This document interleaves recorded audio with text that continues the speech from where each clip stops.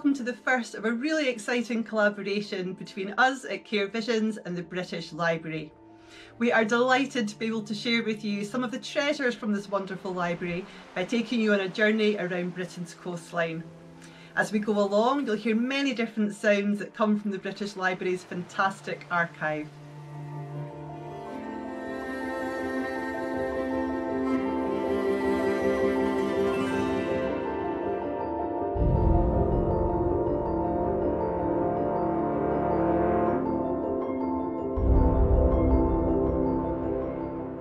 So my name is Laura and I'm going to be your guide today.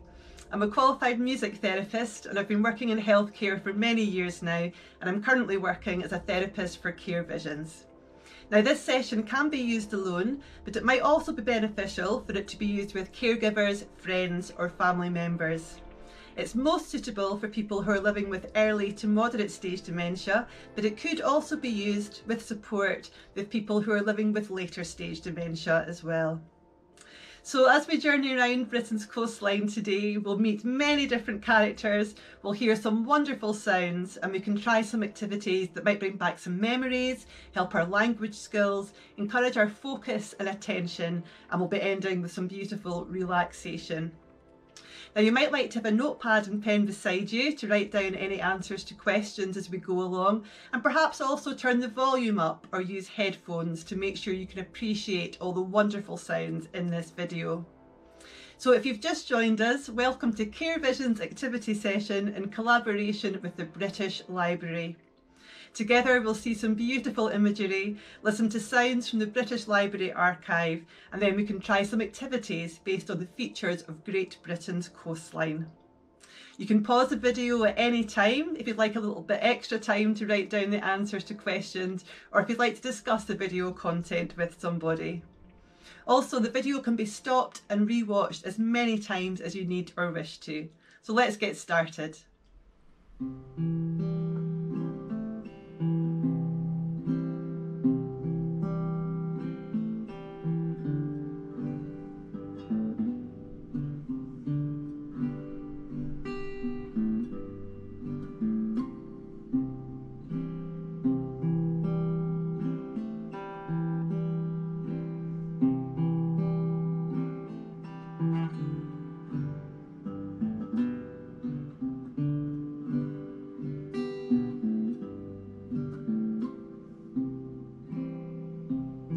So people in Great Britain have been going on holiday to towns on the coast of this country for hundreds of years now.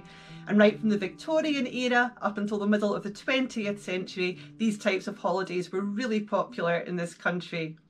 So when summer bank holidays were introduced and more and more people were using the railways to travel, seaside towns like Blackpool, Llandudno and Brighton became major holiday destinations in the UK. Did you ever go to the seaside on a holiday? Where did you go to? Well, where people chose to visit often depended on where they lived. So if you lived in the north of Britain, you might go to Blackpool, which is where I often went to on holiday with my family. But if you lived further south, you just might have got the train to Margate. And it's beautiful Margate that's the first stop on our tour of the great British coast today. Miss Forde sings her popular song, All Aboard for Margate, the sterling record.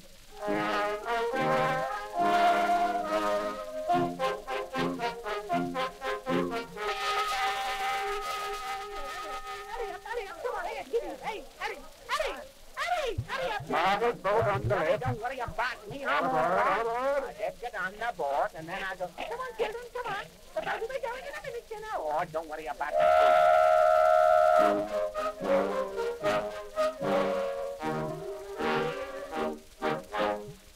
know a place where the salt breezes blow, and without doubt it's the one place to go. Down by the river, it's not far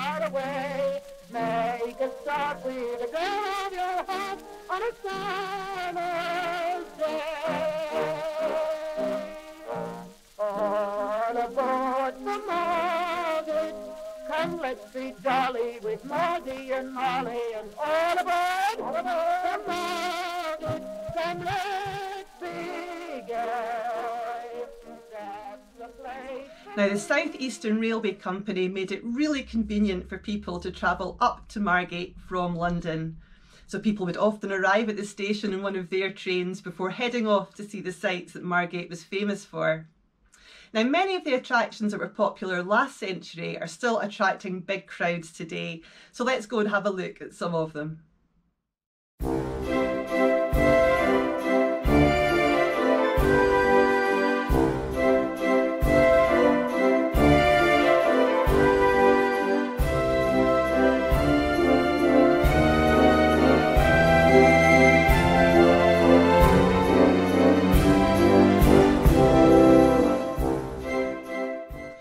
Course, one of the main attractions in Margate is its beautiful wide and sandy bay.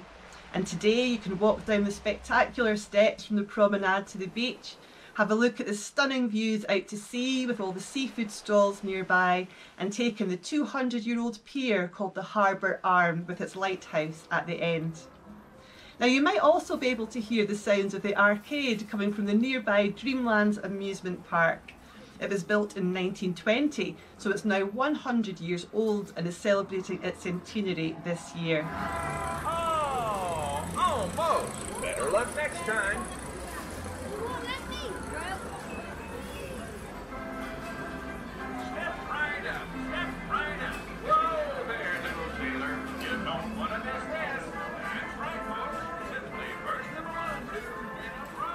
Now this park is home to the oldest roller coaster in the UK called the Scenic Railway.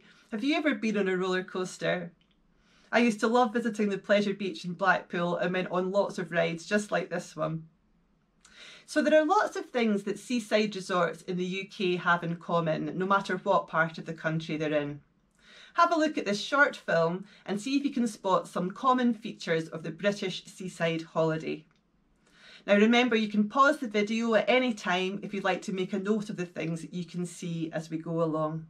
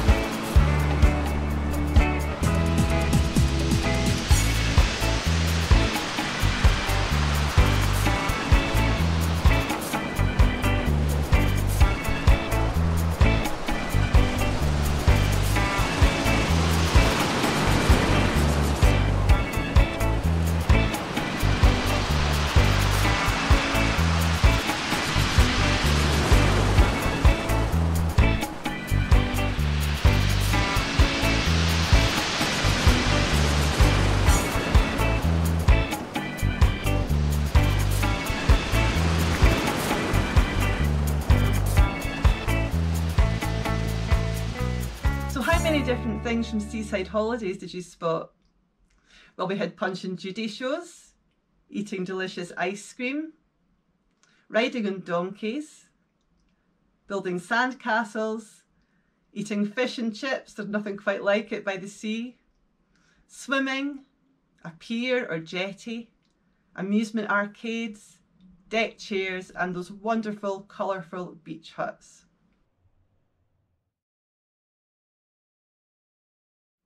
So now, as we're still in Margate, I thought we could look at one of the newer additions to the beachfront here.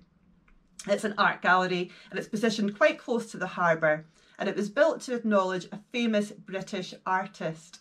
Do you know who that might be? Now, this artist first visited Margate as a child back in 1786, and he became a regular visitor there from the 1820s onwards. He's famous for his depiction of sunlight in his paintings, inspired by the way the light came in across the sea here. He apparently said that Margate had the loveliest skies in all of Europe. Here's a painting he did of Margate Jetty, which formed part of the sea view here until 1978. Who do you think this artist might be? Well, it's the British painter Joseph Mallord William Turner. He produced thousands of works of art in his lifetime, and over 100 of these paintings featured Margate in them. Now, seaside towns nearly always specialise in entertainment, and if you've ever visited Margate, you just might have been to see a show at the Winter Gardens. Now, this amazing complex of rooms is over 100 years old, and it was constructed mainly below street level so as not to block out the sea view. Now, the main hall in the Winter Gardens has played host to many famous entertainers over the years. See if you can recognise any of these famous faces who played at the Winter Gardens.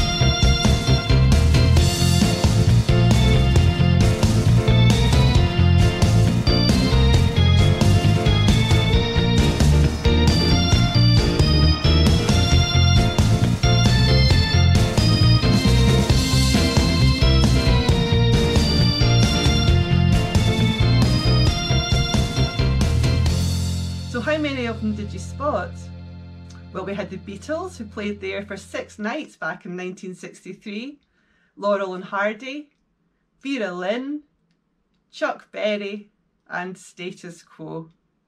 And the Winter Garden still puts on a real variety of shows to suit all tastes today.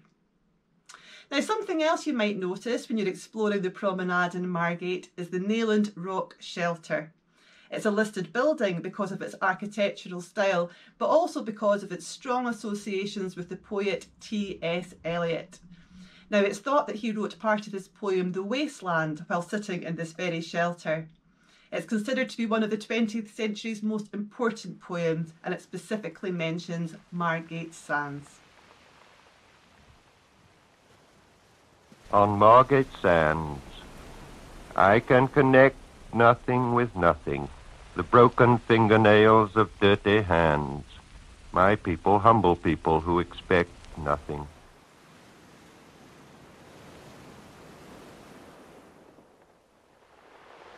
Okay, well, we've been down to the beach, we've visited the amusement arcade, had a look to see what was on at the Winter Gardens.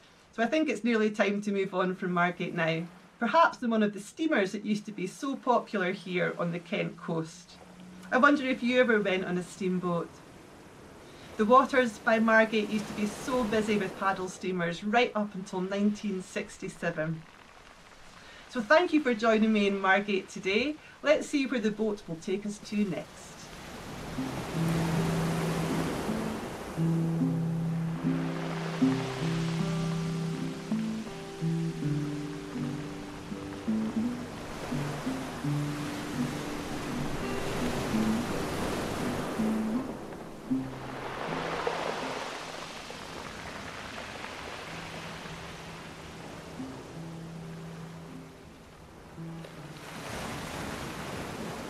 So the next stop on our journey around Britain's coastline is in Cornwall.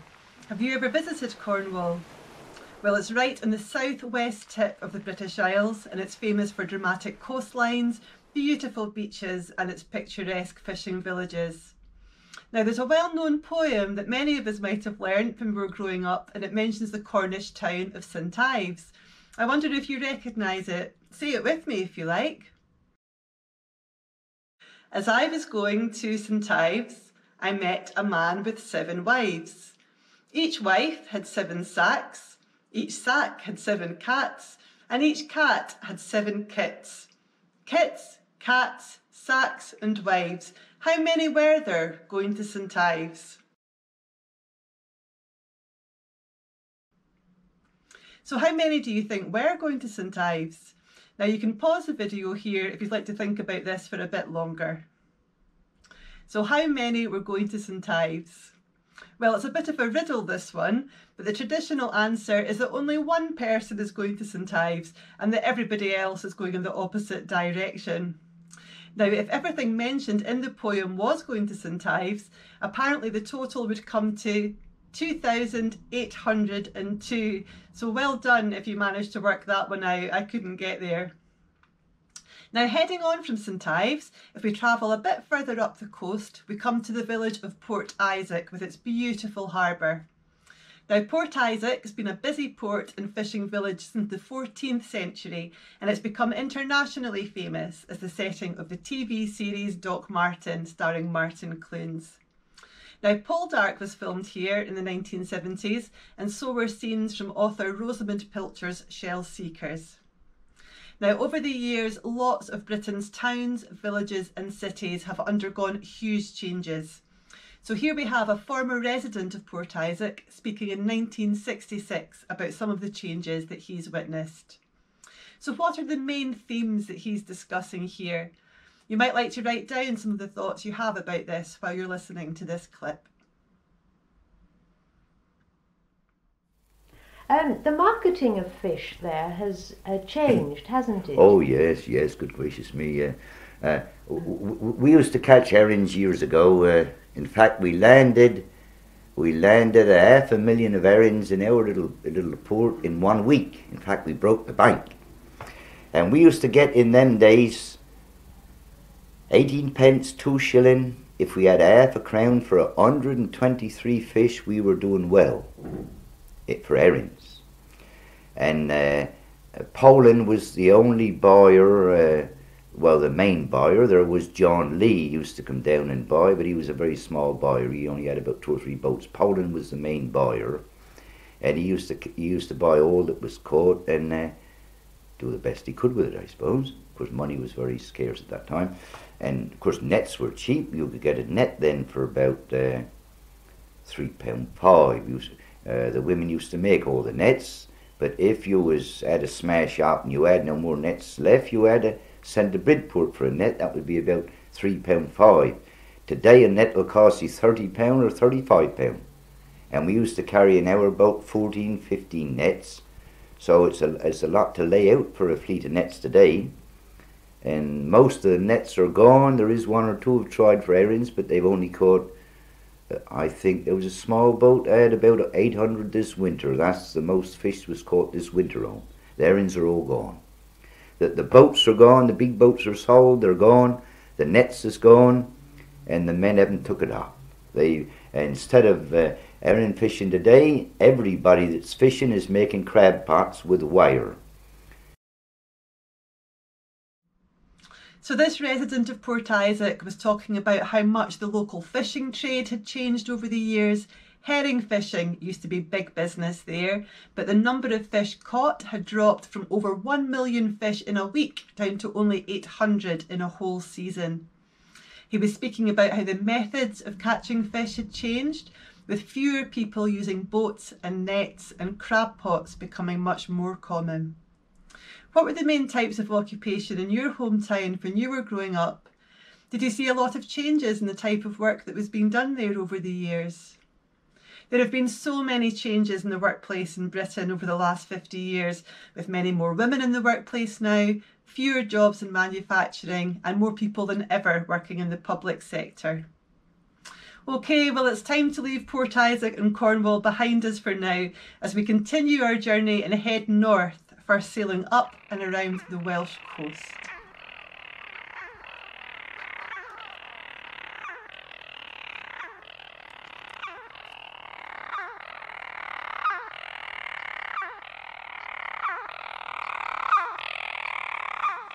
Can you hear the calls of these birds? Well, these birds are called storm petrels. They follow boats out onto the sea for shelter and to scavenge food from them. Now, storm petrels are associated with lots of local myths and legends about the sea, including one regarding a sea witch called Mother Carey. Now, according to legend, she was feared by sailors as it was thought that she could bring about terrifying and dangerous storms.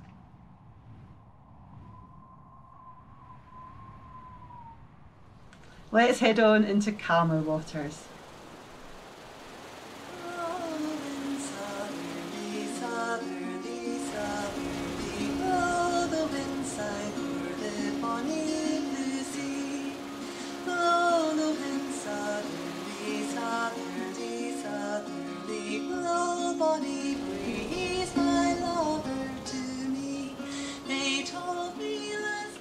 So now we've reached our final stop on our journey around the coast of Great Britain. So first we took the train to Margate and experienced all the seaside attractions there. Then we sailed to St Ives and visited the fishing village of Port Isaac in Cornwall.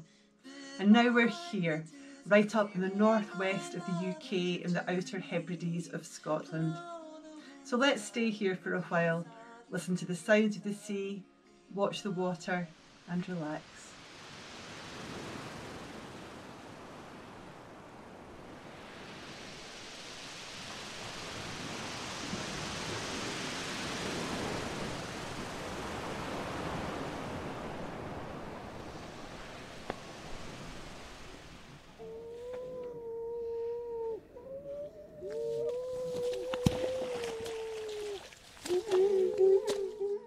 You might be able to hear the sounds of some seals in the water. The seals that you can hear were from Donna Nook Nature Reserve in Lincolnshire, but you can find these lovely animals in many other parts of Britain, including the Hebridean islands of Uist.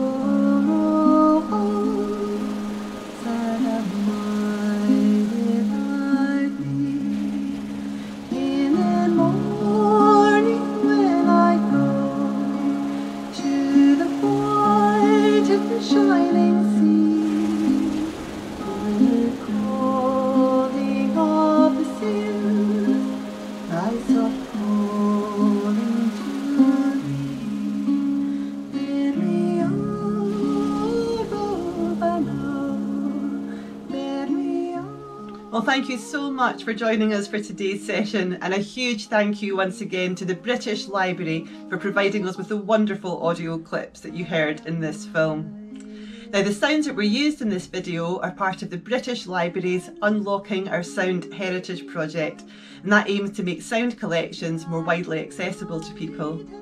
So if you'd like to explore more sounds that the British Library holds, you can visit the link that you see here. Now at Care Visions, it's really important to us to keep on improving and to find out how we can provide a better experience for all of you. So we'd really appreciate it if you could please take a couple of minutes to give us some feedback through our feedback survey. And you can find the link for this in the comments box below. Now we'll be uploading new sessions on a regular basis, so please do keep checking our website for the latest information. You can subscribe to our YouTube channel and also follow us on Facebook and Twitter. So we look forward to connecting with you again next time. Do take care and stay safe.